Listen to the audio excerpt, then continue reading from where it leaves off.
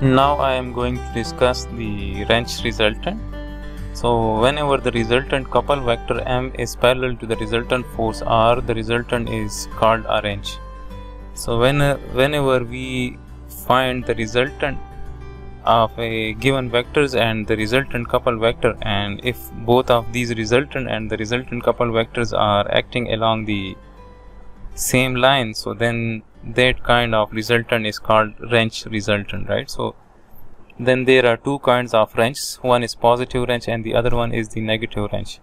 So if the couple and resultant are acting in the same direction so then that is called positive wrench.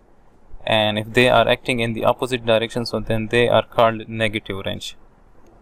So a common example of positive wrench is found with the application of a screwdriver, right? So whenever we are using a screwdriver, so the resultant force and the couple both are acting in the direction and the line of action of that force is towards the screw, right? So in uh, in whichever direction we are inserting the screw, right? So let's suppose if we have this plane and we are using the screwdriver to tighten the screw in this plane right let's suppose if this is that screw so then the resultant will be into this uh, let's suppose if this is a wooden block right so then the resultant force will be perpendicular to this wooden block right? And this will be the resultant.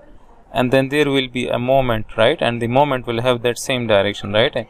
And the direction of that moment will be like this. So if we curl our right hand finger so our our thumb will also point in the direction of the screw right? So in the direction of the resultant. So in that case the resultant is a positive wrench right and it is also said that any general force system may be represented by a wrench applied along a unique line of actions.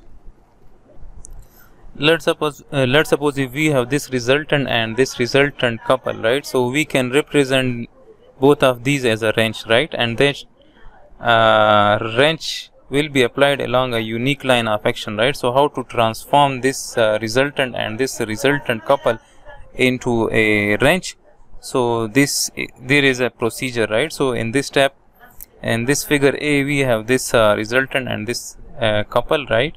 So if i resolve this couple into its component right? So then we will have these two components. The one is m1 and the other one is m2 right? And m1 is in this direction right? That is parallel to the r vector the resultant vector and m2 is perpendicular to the r vector.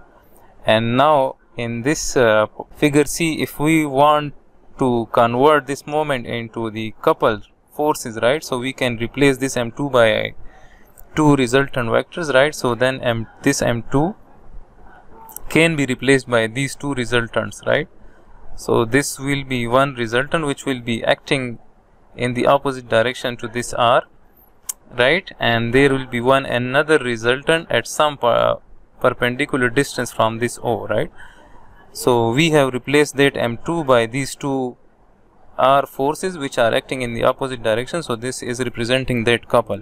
To find this perpendicular distance of this resultant so we will use this equation right? So then this will be r into d and this will be equal to m2 so then that perpendicular distance will be equal to dm2 divided by r right? So we will know this component the magnitude of this and we will know the magnitude of the resultant. So then we will be able to find the perpendicular distance of this resultant from this point o right? So we will replace this m2 by these two forces which are producing that same couple right?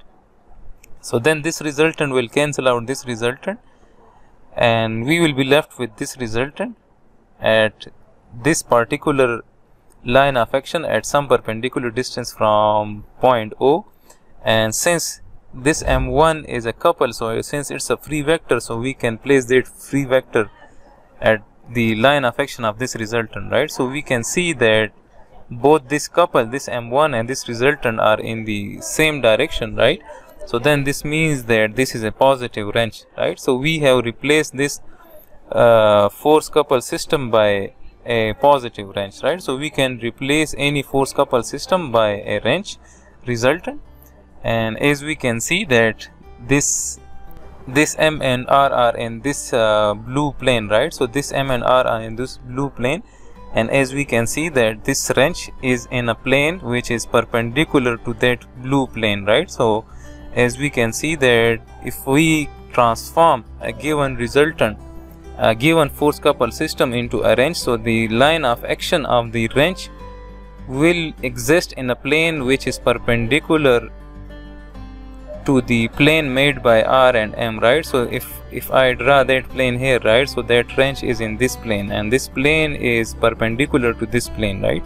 So whenever we transform a force couple system into a wrench so that wrench the line of action of that wrench will be in a plane which will always be perpendicular to the plane found by this force couple system